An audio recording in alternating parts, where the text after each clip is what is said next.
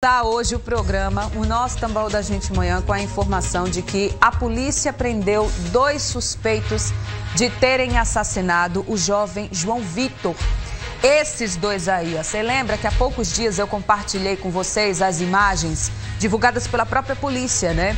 Das câmeras de monitoramento da escola. O Vitinho, né? O João Vitor, ele foi morto dentro de uma escola aqui no bairro de Gramame, na capital. Essas são as imagens do dia em que tudo aconteceu.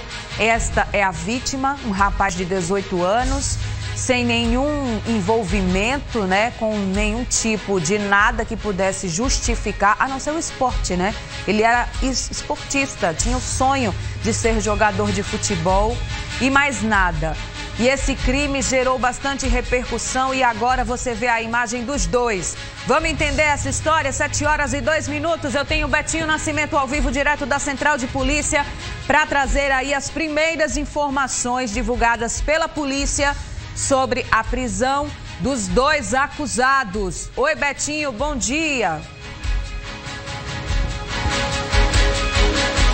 Oi, Ana, bom dia para você, bom dia para todo mundo. É isso, a Polícia Civil, através da Delegacia de Homicídios, cumpriu ontem, no início da tarde, esses dois mandados de prisão preventiva. Né? Esses dois homens foram presos, eles são da região sul de João Pessoa, são de Gramame. A polícia disse que eles fazem parte de organização criminosa e eles conversaram ontem, através de depoimento, com o delegado que investiga o caso e também com a delegada titular da Delegacia de Homicídios.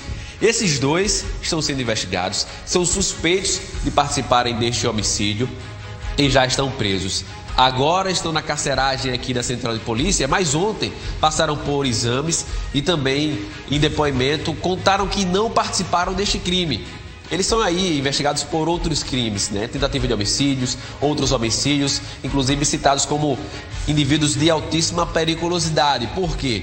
Eles na região lá de Gramame, na zona sul de João Pessoa, até obrigar moradores a saírem do local para que eles conseguissem ampliar a área de tráfico de drogas ou da criminalidade mesmo, eles faziam isso de acordo com a polícia. Claro que todos os procedimentos ainda estão sendo apurados, eles, eles hoje passam aí pela audiência de custódia, já estão na carceragem, essa audiência acontece de forma remota, então no início da tarde a gente vai ter um resultado aí de onde, é, para onde eles vão, se continuam presos através desse mandado de prisão preventiva ou se serão liberados.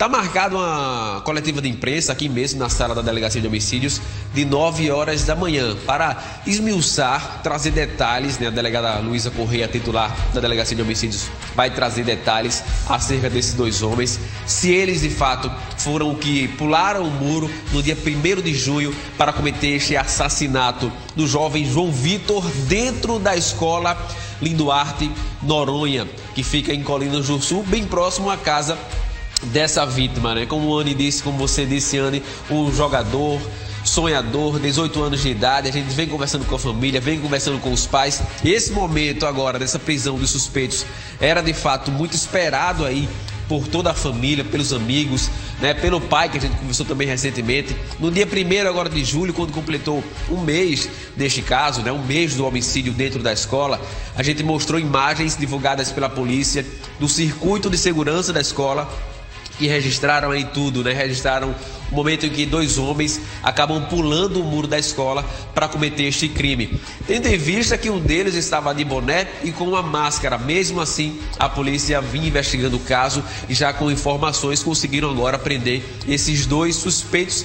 Relembrando, eles negaram participação neste crime e ainda disseram mais. Contaram para a polícia de que possivelmente o Vitinho foi morto por engano porque tem o mesmo indivíduo na, na, na escola, com o mesmo nome e que, inclusive, também tinha o sonho de ser jogador de futebol, também atuava nessa área do futebol.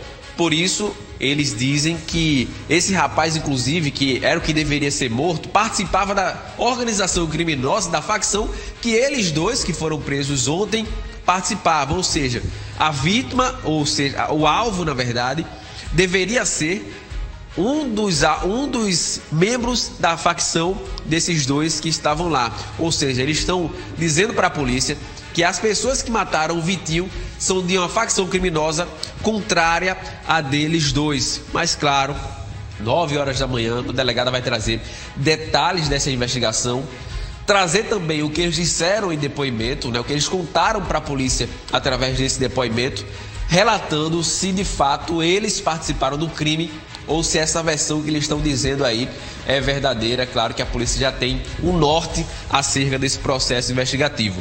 O que a gente pode mostrar é que esse trabalho está sendo produtivo porque esses homens não são fluxo e cheire, não. Eles têm participação em outros crimes aí e eram de fato de alta periculosidade. A gente vai continuar acompanhando esse caso, esperando que, assim como a família espera, que a justiça seja feita, Andy. Obrigada, viu, Betinho? A gente vai seguir acompanhando aí o desenrolar dessa história. É só a primeira informação do dia, viu, meu povo? 7 e 7 da manhã.